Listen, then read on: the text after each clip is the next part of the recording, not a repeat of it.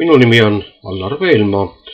tänases videotunnis me räägime tehetest vektoritega ja siin on siis algamas meie videotunni esimene osa.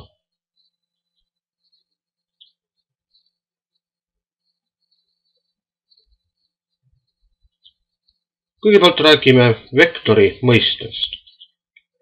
vektoriks nimetatakse suunatud sirglõiku seda olete juba ilmselt matemaatikatunnis kuulnud ja ka füüsikatunnis, sest füüsikas, kui käsitletakse jõudu, siis loomulikult räägitakse ka vektorist, jõuvektorist. kui räägitakse nihkest, siis tuleb juttu nihkevektorist. nii et vektor on siis suunatud sirglõike, näete, vektor AB tähendab meie jaoks siis seda, et me liigume punktist A punkti B kui me vaatame lihtsalt lõiku, siis lõigul loomulikult suunda ei ole, nii et oleks lihtsalt lõik ka ja kogu lugu. nüüd vaatame näiteks vektorit CD ja kui te nüüd hästi hoolega vaatate, siis te näete, et vektor AB viib meid punktist A punkti B ja me liigume kolm ühikut paremale ja kaks üles. vektor CD toob meid kõigepealt siis kolm ühikut vasakule ja kaks alla, nii et täpselt vastupidi nüüd. A, B ja C, D siis käituvad vastupidi. nüüd lõik, näete, GH toob meid neli ühikut paremale, aga üles ja alla liikumist ei ole. vektor KL toob meid kolm ühikut paremale, kaks üles täpselt samamoodi nagu vektor AB seda tegi. Vektor EF toob meid jällegi, näete, neli ühikut paremale, aga kuus ühikut alla. ja vektor IJ vasakule ja paremale meid ei vii, küll viib aga kuus ühikut ülespoole. ja kuidas nüüd neid liikumisi vasakule-paremale, üles-alla siis kirja panna, sellest me räägime õige pea jutt tuleb siis vektori koordinaatidest.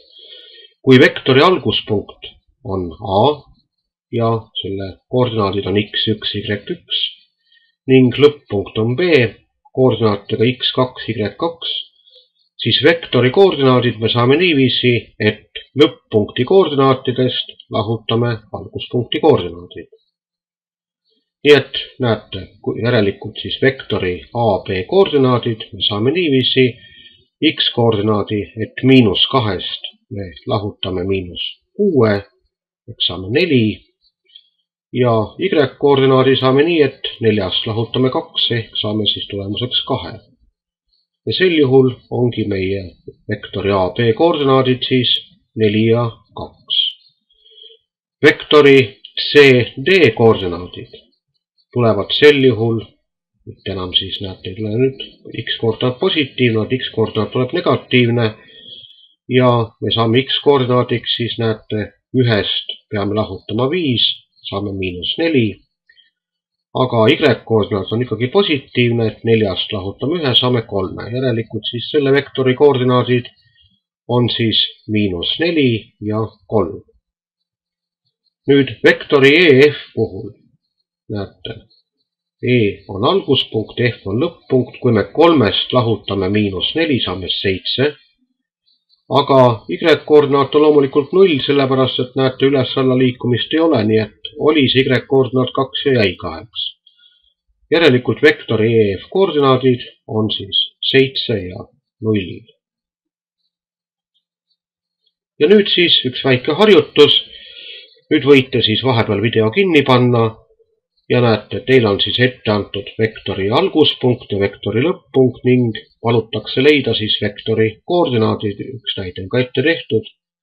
kui alguspunkt on koordinaatidega kolm ja seitse ning lõpp-punkt miinus kaks ja kaheksa, siis vektori koordinaadid saame, näete, lõpp-punkti koordinaatidest lahutame alguspunkti koordinaadid.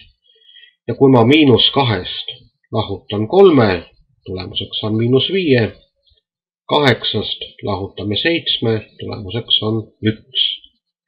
nii et nüüd tuleb teil siis, näete, teha siin mõned arvutused ja saame selle tabeli siis ära täita. seniks siis paus ja kui olete valmis, pange video taas tööle, saame siis kontrollida.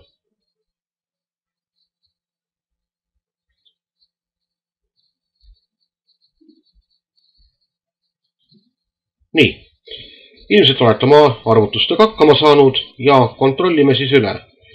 teise vektori puhul näete nullist lahutame miinus kaks, tulemuseks on kaks, seitsmest lahutame neli, kolm.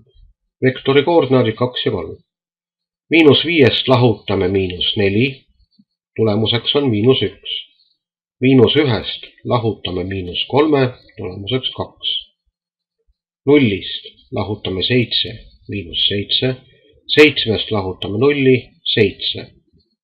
nullist lahutame nelja, miinus neli, miinus kolmest lahutame miinus kaks, loomulikult on tulemuseks miinus üks ja näete siin vektori alguspunkt ja lõpp-punkt on samad ja vaatame, mis siis nüüd juhtub.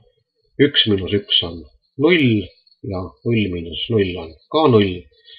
ja ilmselt te mäletate, et kui vektori koordinaadid on null ja null, siis on tegemist nullvektori. Nüüd räägime siis vektori pikkusest ehk sellest, kui pikk see lõik on. ja vaadake, kui me tahame leida lõigu pikkust, siis me võime siin ju varem õpitud Pythagorase teoreemi kasutada, sest näete, selle lõigu pikkus, mida ma hetkel teile näitan, on loomulikult siis x2 miinus x1 ja selle lõigu pikkus on y2 miinus y1, kus siis x1 ja y1 on alguspunkti koordinaadid ja x2, y2 siis lõpp-punkti koordinaadid. nii et näete, kaatetite ruutude summa on võrdne siis hüpotenuusi ruuduga ja loomulikult siis vektori AB pikkus, sel juhul näete pikkust me tähistame siis niimoodi, et paneme vektori AB siis selle püstiste kriipsude vahele ja seda nimetatakse ka vektori mooduliks. On võrdne siis näete ruutjuurega x2 miinus x1 sulgudes ja ruudus ehk siis selle lõigu pikkuse ruut pluss teise kaateti ruut ja nii, et kui meil on olemas alguspunkt ja lõpp-punkt, siis saame loomulikult leida alati vektori pikkuse. ja nüüd arvutamegi siis, näete, nende vektorite pikkused. kõigepealt vaatame, näete, selle lõigu pikkus on siin neli ühikut ja selle lõigu pikkus on kaks ühikut. nelja ruut pluss kahe ruut, kuusteist ja veel neli juurde on kakskümmend. järelikult siis AB pikkuse ruut on kakskümmend ja AB enda pikkus on järelikult siis ruutur kahekümnest. seda saab küll lihtsamaks teha, aga hetkel jätame nii. nüüd vaatame, näete, selle lõigu pikkus on meil siin neli ühikut, siin on meil kolm ühikut, nelja ruut pluss kolme ruut, kuusteist pluss üheksa on kakskümmend viis ja ruutjuurt kahekümne viiest me hea tahtmise juures oskame võtta tulemuseks on viis, nii et järelikult vektorit CD pikkus on viis ühikut.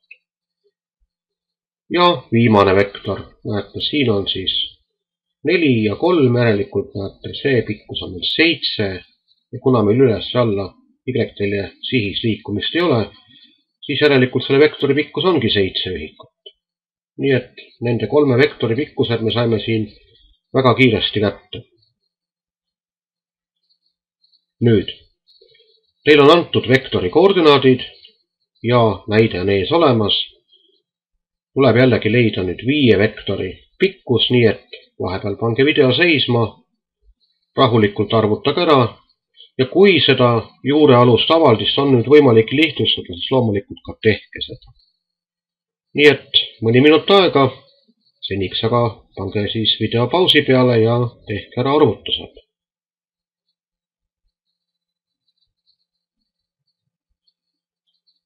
ilmselt olete nüüd valmis saanud ja võime siis kontrollida. vaatame, mis te siis saite. nii et näete, teise vektori puhul miinus kaks ja kuus koordinaadid. võtame mõlemad koordinaadid ruutu, ka miinus kahe ruut neli ja kuue ruut kolmkümmend kuus, nii et kokku ruutud neljakümnest. nelikümmend on neli korda kümme, neljas saab ruutjuurt võtta, nii et kokku tuleb siis kaks ruutjuur kümmet üheksa ja üks on koordinaadid, üheksa ruut ja ühe ruut tuleb kokku liita, kokku ruutur kaheksakümne kahest ja siin ei saa midagi paremaks teha, nii et nii jääbki. koordinaadid neli ja null, neli ruudus ja null ruudus kokku loomulikult kuusteist ja ruutur kuueteistkümnest on neli. nii et kui nüüd hästi mõelda, siis me saame aru, et see vektor viib meid neli ühikut paremale, üles-alla Y-telje sihis ei vii kuhugi järelikult selle vektori pikkus peabki neli olema. miinus kaks ruudus ja miinus kolm ruudus, näete, siin on kirja pandud, liidame kokku neli ja üheksa, kolmteist, järelikult ruutur kolmeteistkümnest. kaks ja kuus, siit tuleb siis neli ja kolmkümmend kuus ja jällegi ruutur neljakümnest, nagu siin teisel juhtumil ning tulemuseks taas siis kaks korda ruutur kümme ja vaadake, näete, nende koordinaadid erinevad ainult siis siin märgi poolest, nii et loomulikult need vektorid jällegi pididki võrdse pikkusega siis olema. ja sellega oleme meie oma esimese videotunni selleks korraks lõpetanud. sööge ikka värskeid puuvilju ja olge terved, kohtume taas